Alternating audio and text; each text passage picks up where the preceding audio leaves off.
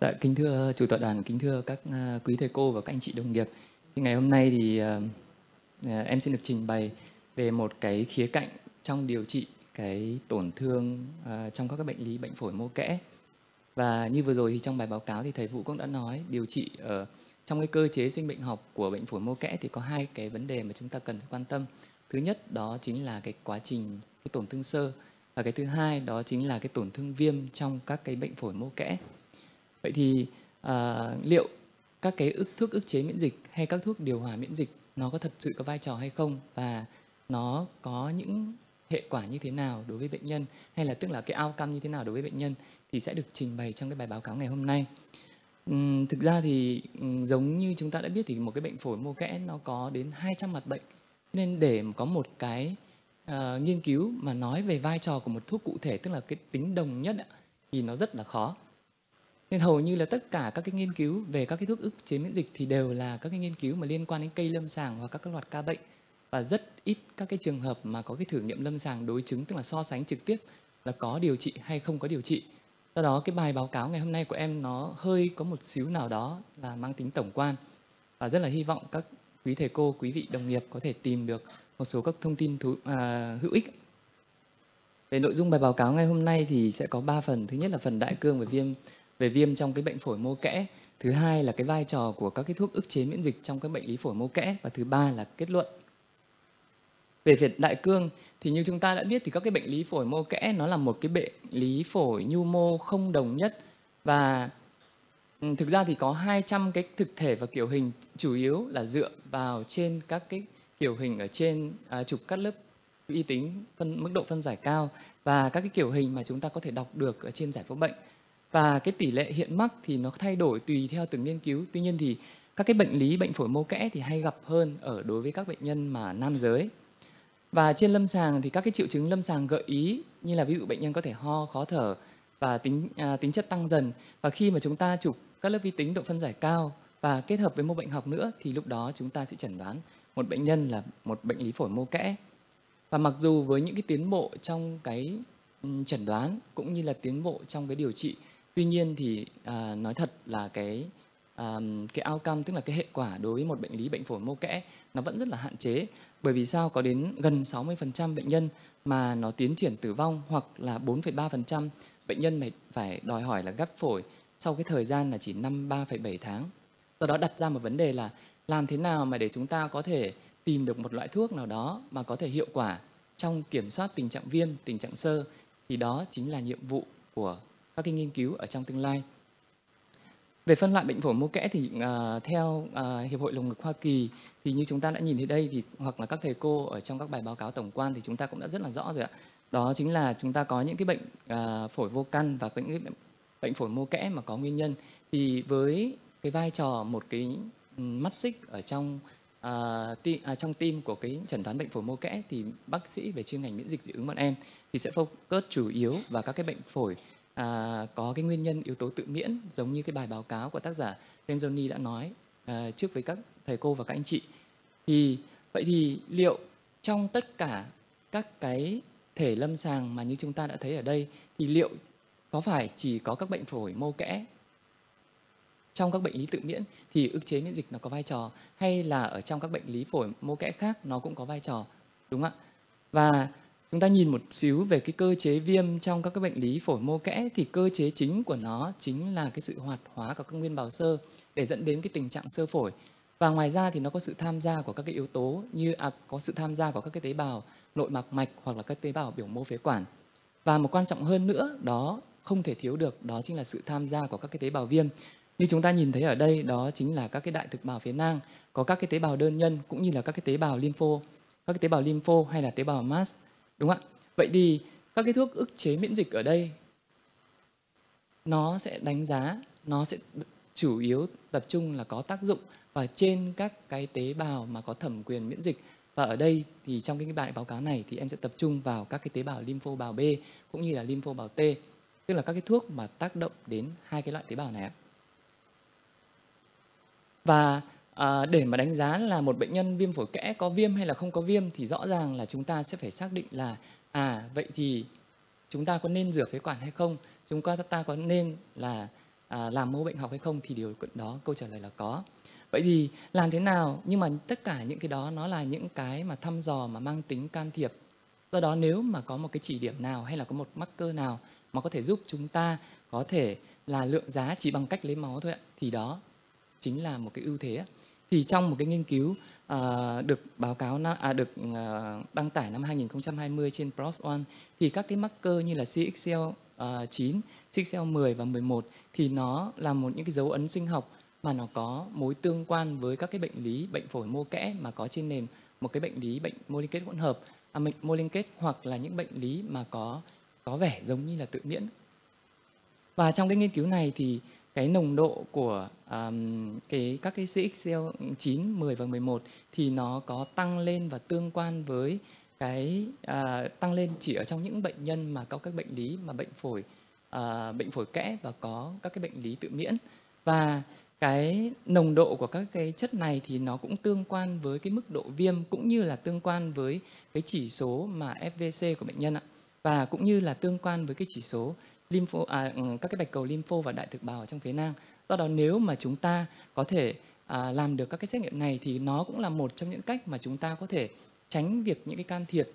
ví dụ như là ừ, à, à, sinh thiết phổi hoặc là cũng như là rửa dịch rửa phế quản thì giúp đó cũng là tối ưu hóa điều trị trong các bệnh lý bệnh phổi mô kẽ mà có cơ chế viêm là chính. Vậy thì cái tần suất của các cái bệnh lý bệnh phổi mô kẽ trong các bệnh lý tự miễn thì nó rất là thay đổi. Tuy nhiên thì với như bên uh, chuyên ngành dị ứng bọn em nói đúng hơn là chuyên ngành dị ứng miễn dịch lâm sàng. Thì um, cái việc đầu tiên đối với bọn em là um, đối với khi mà bọn em giảng sinh viên ấy thì bao giờ bọn em cũng nhắc với sinh viên là khi mà các em nghĩ đến bệnh lý này thì các em phải tính đến là bệnh nhân đấy nó có tổn thương mô đích hay không. Và bao giờ bọn em cũng tính là à vậy thì khi mà giả sử như trong bệnh nhân sơ cứng bì chẳng hạn thì cái mà bọn em không bao giờ thiếu đó chính là các cái đánh giá về phổi. Ví dụ cho bệnh nhân đo cái chức năng uh, hô hấp hoặc là cho chúng ta cho bệnh nhân chụp một cái phim thường và chúng ta đánh giá ngay phổi thật là kỹ. Và nếu mà bệnh nhân có nghi ngờ thì lúc đó chúng ta sẽ chuyển sang là cho chụp cái cắt lớp lớp mỏng. Thì đó chính là một trong những cái mà hiện tại thì qua những cái thế hệ sinh viên bọn em cố gắng đang truyền tải làm thế nào mà để chúng ta có thể phát hiện sớm được những bệnh nhân mà có cái tổn thương phổi mô kẽ đặc biệt là trong các bệnh phổi mạng tính. À, bệnh phổi ờ, à, mà trong các bệnh lý mà bệnh mô liên kết ạ. Và nhìn như ở đây thì các anh chị có thể thấy nó có thể gặp trong các cái nhóm bệnh như bệnh mà viêm khớp dạng thấp trong sơ cứng bì trong hội chứng siêu Sjögren và trong các cái bệnh lý về viêm cơ thì cũng thể có. Và chúng ta có thể gặp là trong cái à, bệnh lupus ban đỏ hệ thống cũng có nhưng mà tần suất gặp của nó thì hiếm hơn. À, thực ra thì nói là gặp ở ở nước ngoài bởi vì sao chúng ta chỉ có gọi là rheumatology tức là các cái bệnh lý về liên quan đến khớp. Tuy nhiên thì các cái hiện tại à, hiện tại thì các cái bệnh lý mà à, nói thật là nằm các cái bệnh lý mà tự miễn nó nằm ở quá nhiều các cái chuyên khoa nên đôi khi là, ví dụ đôi khi thì các bác sĩ ở khớp thì chúng ta chỉ quan tâm đến tình trạng có đau hay khớp hay không khi mà chúng ta bỏ qua. Và ví dụ giả sử như là khi mà chuyển đến bác sĩ hô hấp thì lúc đấy cái tổn thương phổi nó đã tiến triển rồi ạ. Do đó cái việc mà chúng ta tối ưu hóa bằng cách là chúng ta có các cái hội trần đa chuyên khoa thì đó là điều cần thiết và rất là hy vọng ở trong tương lai. Và các cái bác sĩ và chuyên ngành miễn dịch dị ứng có thể tham gia cùng với các bác sĩ hô hấp để làm sao để nâng cao được cái hiệu quả trong chẩn đoán và điều trị cho bệnh nhân và về à, phần thứ hai là à, em xin được trình bày về các cái vai trò của các ức chế miễn dịch trong các cái bệnh lý phổi mô kẽ. Thì à, đối với các cái bệnh lý sơ phổi vô căn thì rõ ràng cái thuốc chống sơ nó sẽ có vai trò từ đầu đến đuôi. Tức là khi mà chúng ta đã chẩn đoán một bệnh nhân là sơ phổi kẽ à, sơ phổi kẽ à, sơ phổi vô can rồi thì chắc chắn là cái thuốc nitedanib hoặc là pifenidone thì sẽ có vai trò trong điều trị. Tuy nhiên khi mà một bệnh nhân mà có chẩn đoán là bệnh lý phổi kẽ trên nền một bệnh nhân mà có bệnh lý mô liên kết cũng như là trong các bệnh phổi quá mẫn hay là những bệnh nhân mà không không phân loại khác, thì lúc đó cái vai trò của các cái thuốc mà chống viêm, các cái vai trò của các cái thuốc mà điều hòa miễn dịch thì nó rất có ý nghĩa. Bởi vì nó sẽ tác động ở trên giai đoạn sớm để tránh cái việc mà sơ phổi trong giai đoạn sau. Tuy nhiên thì đôi khi thì nếu mà chúng ta có điều kiện thì rõ ràng là chúng ta vẫn có thể là kết hợp song song hoặc là đồng hành hai cái thuốc này trong cái quá trình mà điều trị và đây chính là một cái sơ đồ lược đồ hóa hai cái cơ chế mà chúng ta có thể nhìn thấy rõ ràng là trong viêm và trong sơ. Vậy thì trong viêm như các anh chị nhìn thấy ở bên tay trái thì có thể thấy các cái tế bào viêm mà tham gia vào quá trình à, viêm ở trong bệnh phổi mô kẽ. Đó chính là các cái tế bào đại thực bào phế nang, các cái tế bào mà liên quan đến cái tín hiệu thông qua cái lympho bào bào B và thông qua lympho bào T. Thì tương ứng với nó thì sẽ có các cái thuốc mà điều trị. Và đó là những cái phần mà em xin được nói chi tiết ở trong phần phía, phần phía sau ạ. Và cái thuốc đầu tiên mà cũng thể uh, có thể là chúng ta nó là thuốc mà được áp dụng um, có thể là lâu đời nhất và nó cũng rất là quen thuộc đối với mọi người. Đó là khi mà chúng ta nghĩ đến tự miễn thì chúng ta nghĩ đến corticoid nhưng vậy thì corticoid trong trường hợp này thì nó sẽ có hay thường được sử dụng trong cái trường hợp nào và nó có thật sự có hiệu quả hay không? Thì theo cái um, khuyến cáo của uh, hiệp hội hô hấp Hoa Kỳ, châu Âu hay là Nhật Bản hay cũng như các nước châu Mỹ Latin thì rõ ràng là chúng ta không nên sử dụng corticoid đơn độc trong điều trị các cái tổn thương bệnh lý bệnh lý phổi uh, phổi kẽ và trên nền một cái bệnh lý bệnh mô liên kết hỗn hợp. Tuy nhiên thì lý giải vì sao bởi vì sao bởi vì đã có các cái nghiên cứu mà nói ra rằng nó không có vai trò cải thiện cái cái khả năng mà sống sót cho người bệnh cũng như là khi mà điều trị với corticoid kéo dài nó ảnh hưởng đến rất là nhiều tức là có rất là nhiều các cái side effect tác dụng phụ trên những cái bệnh nhân này. Tuy nhiên thì có những cái nghiên cứu mà đã chỉ ra được cái hiệu quả của nó và như các anh chị đã nhìn thấy ở đây một cái thử nghiệm lâm sàng cái này thì em xin lấy tức là nó có từ lâu lắm rồi ạ từ năm 1992 thì trên những cái bệnh nhân mà những cái bệnh phổi mà quá mẫn bệnh phổi quá mẫn ấy, thì điều trị với corticoid rõ ràng là nó có cải thiện cái SVC và cái DLCO ở trong những cái giai đoạn đầu tiên, tức là trong những cái tháng đầu tiên sau khi điều trị thì cái chức năng phổi và cái tình trạng cơ năng của bệnh nhân được cải thiện rất là rõ rệt. Tuy nhiên sau khi mà điều trị khoảng 12 tháng thì gần như chúng ta thấy hai cái đường này nó đã chập vào một, cả về cái FVC và cái DLCO. Do đó, cái corticoid nó chỉ có vai trò tác dụng khởi phát nhanh. Và nếu mà như trong chúng ta nhìn thấy như cái bài báo cáo của à, bác sĩ Trang thì chúng ta thấy nếu mà chúng ta khi sau khi mà chúng ta điều trị với corticoid liều cao thì rõ ràng các cái phản ứng viêm của bệnh nhân dập tắt à, dập tắt ngay tức thì và bệnh nhân sẽ có cải thiện triệu chứng rất là rõ rệt. Tuy nhiên cái hiệu quả này nó không được duy trì ở phía sau đâu ạ. Và một cái nghiên cứu nữa đăng tải trên tạp chí mà Science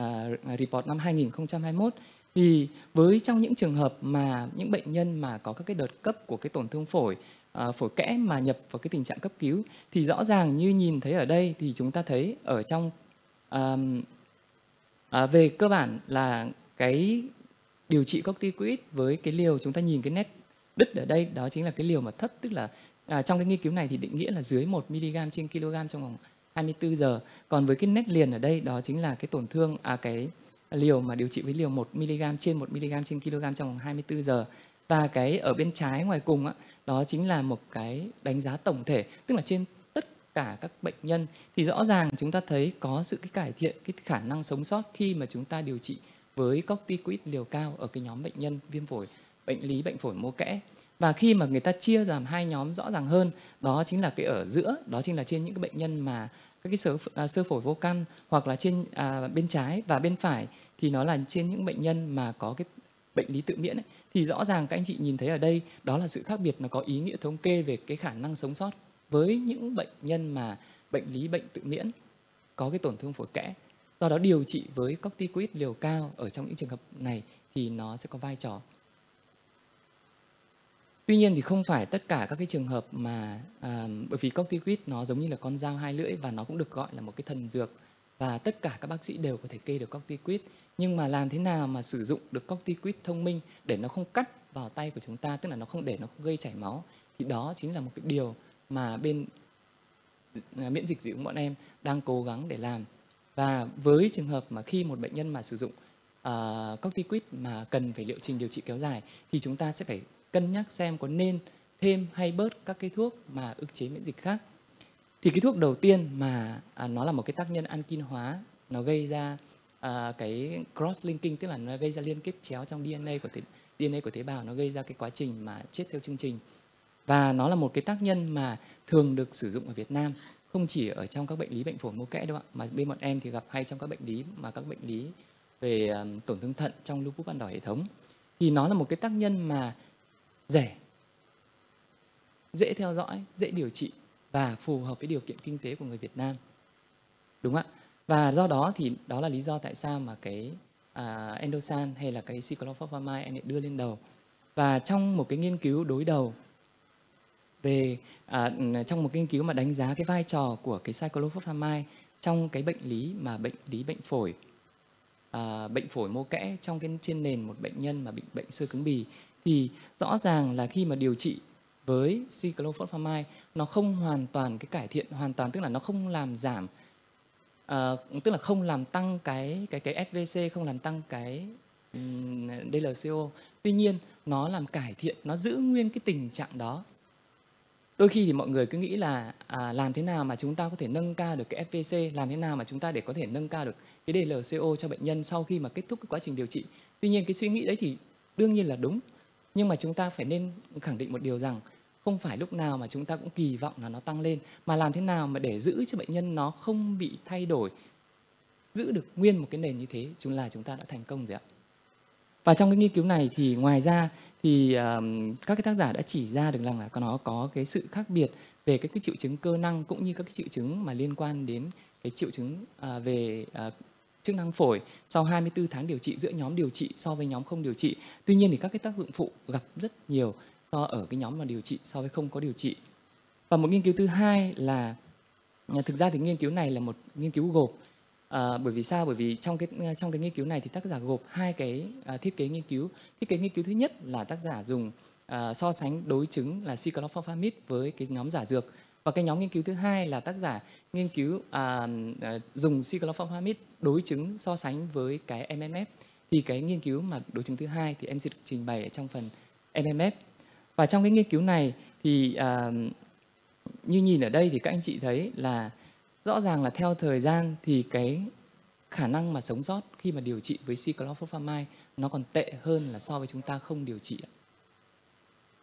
Và tương tự như thế thì cái à, trên cái tổn thương cơ quan hay là các cái tổn thương ví dụ giả sử như là bệnh nhân tử vong liên quan đến hô hấp thì ở trong nhóm mà cyclophosphamide nó cũng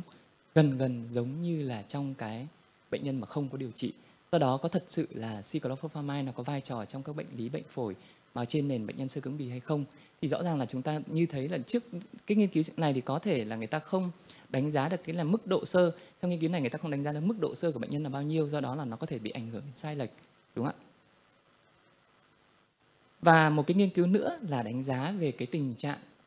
đáp ứng của bệnh nhân sau khi mà sử dụng cái cyclophosphamide trên nhóm bệnh nhân mà viêm cơ tự miễn. Thì trên cái nghiên cứu mà tổng quan analysis này thì tác giả hầu như tất cả các nghiên cứu này chủ yếu là các nghiên cứu à, cây lâm sàng. Cũng ví dụ giả sử nó có à, có 11 bệnh nhân 12 hoặc là 20 bệnh nhân hoặc là các nghiên cứu chùm bệnh. Thì cái tác dụng của cyclophosphamide nó có tác dụng ở trên các cái tình trạng cơ của bệnh nhân. Tức là nó cải thiện cái chức năng cơ và cải thiện cái sức mạnh của cơ sau khi mà chúng ta điều trị với cyclophosphamide. Và cái um, sau và sau 6 tháng và sau à, 12 tháng thì rõ ràng là nó cũng có cải thiện cái um, FVC và cũng như là cái DLCO sau khi mà điều trị. Và trên một à, và nó cải thiện ở khoảng 57,6% cái FVC và 64,3% cái um, à, cái DLCO do đó là cái cyclophosphamide trong trường hợp này nó dường như là nó có ý nghĩa trong cái điều trị các cái bệnh lý viêm cơ nhiều hơn là so với trường hợp những bệnh nhân mà sơ cứng bì hệ thống tiến triển. Và một số các cái tác dụng phụ liên quan đến cyclophosphamide mà các anh chị luôn luôn đặt ở trong đầu, đó chính là không phải là các cái trường hợp mà khi mà chúng ta điều trị với cyclophosphamide là chúng ta muốn nó tác động đến phổi, là nó tác động đến phổi. Đôi khi nó lại là con dao hai lưỡi, nó lại làm gây ra cái tình trạng xuất huyết phế nang lan tỏa và làm trầm trọng hơn cái tình trạng phổi của bệnh nhân cái thứ hai nữa đó là cái tác dụng rất là thường gặp đó là những cái biến cố mà liên quan đến các cái giảm các cái dòng tế bào. Thường thường như trong quá trình điều trị như bọn em thấy à, trên các cái bệnh nhân mà khi sử dụng cái cyclophosphamide thì hay gặp nhất đó là cái tình trạng giảm bạch cầu hạt và một à, vấn đề nữa đó chính là cái viêm bàng quang chảy máu. Tuy nhiên cái điều này à,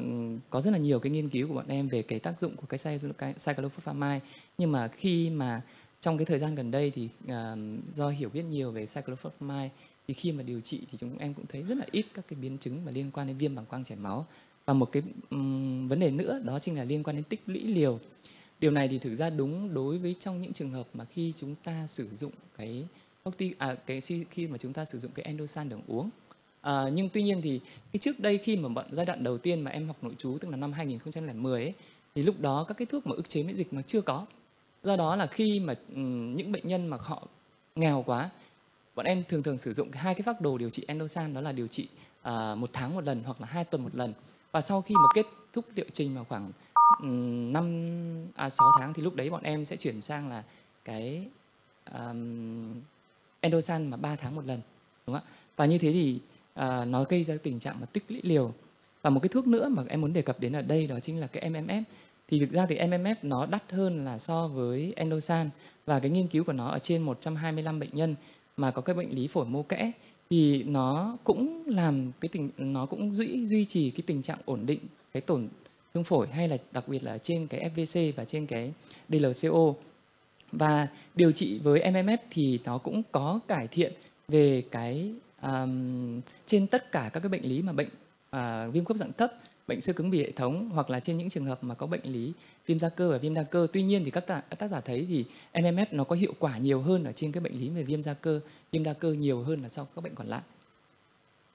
và một cái nghiên cứu thứ hai mà so sánh về cái endosan và cái um, citalophosphamide thì trong cái nghiên cứu này thì dường như là MMF nó có hơi nhỉnh hơn một chút chút là về cải thiện với cái tỷ lệ tử vong. Tuy nhiên thì sau cái thời gian theo dõi 72 tháng thì dường như chúng ta cũng thấy không thấy có sự khác biệt giữa uh, giữa MMF hay là cyclophosphamide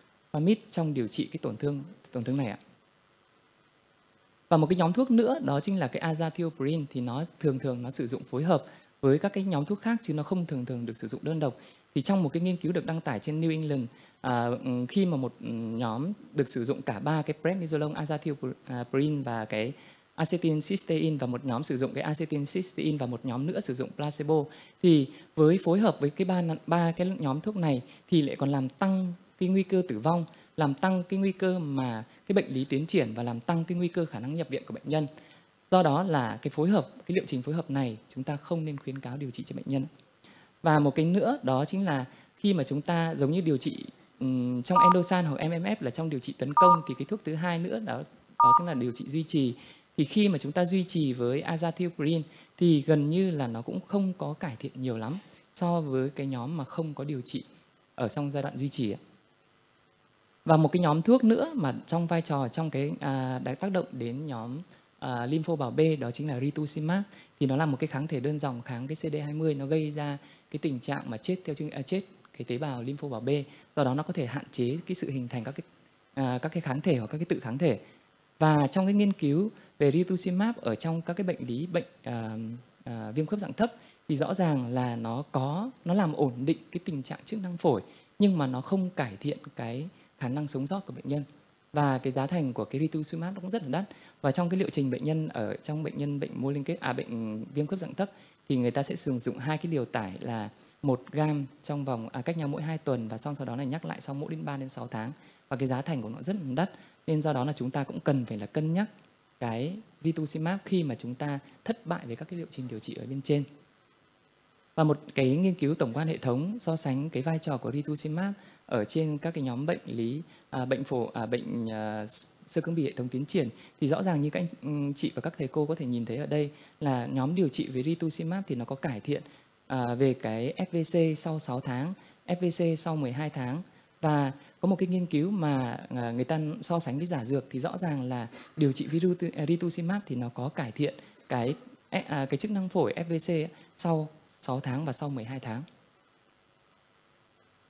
Và kết luận của bài báo cáo ngày hôm nay của em ở đây đó chính là à, thực ra thì bệnh lý bệnh à, phổi mô kẽ nó là một cái bệnh lý đa chuyên khoa và phổ cần phải phối hợp giữa nhiều chuyên khoa khác nhau để làm thế nào để tối ưu hóa trong điều trị. Và không phải là khi mà chúng ta chẩn đoán bệnh phổi mô kẽ rồi mà điều trị bệnh nhân nào cũng giống nhau. Và các cái thuốc ức chế miễn dịch hay là các cái thuốc ức chế chống à, các cái thuốc chống sơ nó cũng chỉ có cải thiện phần nào cái tại cái thời điểm mà chúng ta can thiệp mà nó không có thực sự là cái cải thiện cái tỷ lệ sống sót cho bệnh nhân và khi mà à, chúng ta điều trị thì chúng ta cũng phải cần quan tâm đến các cái tác dụng phụ và nó cũng là đáng kể đấy ạ trong cái quá trình mà thực hành điều trị và ở ừ, trên thế giới cũng như ở Việt Nam thì cần có nhiều hơn các cái nghiên cứu mà đánh giá so sánh đối chứng là xem trong cái nhóm bệnh này thì thuốc này nó có hiệu quả hơn. Tuy nhiên thì em thấy là nó rất khó bởi vì cái nhóm bệnh mô liên kết hỗn hợp nó là đã là một cái bệnh hiếm ít gặp rồi mà bây giờ chúng ta có thể quy tập đủ lại và chúng ta lại so sánh giữa một nhóm điều trị và không điều trị thì em thấy là điều đấy nó hơi không khả thi. Thế thì à, kết thúc à, kết thúc bài báo cáo ngày hôm nay thì rất là cảm ơn các à, quý thầy cô các anh chị đã lắng nghe và à, xin được nhận à, những cái lời góp ý từ quý thầy cô và quý anh chị. Dạ, xin cảm ơn